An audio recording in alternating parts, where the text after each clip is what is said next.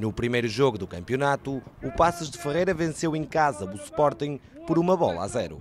Agora na visita ao Alvalade, Rui Vitória promete lutar pelos três pontos e não levar o autocarro para dentro de campo. Hum, não me parece. E se meter um autocarro é um autocarro, um autocarro de grande qualidade uh, e completamente preenchido por todos os jogadores. Há momentos em que vão ter que defender, vamos ter que defender com 11, uh, mas não me parece que, que, tenha, que tenha sido assim até à data. Uh, e não vai ser também este jogo, com certeza. Naturalmente, há de haver momentos em que teremos que defender com, com muita gente e teremos que defender em pouco espaço e teremos que nos pôr ali toda a gente, teremos que pôr todos os jogadores ali à frente da, da, da área. Mas haverá, com certeza, outros momentos em que iremos atacar e iremos ter as nossas oportunidades. Oportunidades terá também o Passos de Ferreira para reforçar o plantel no mercado de transferências.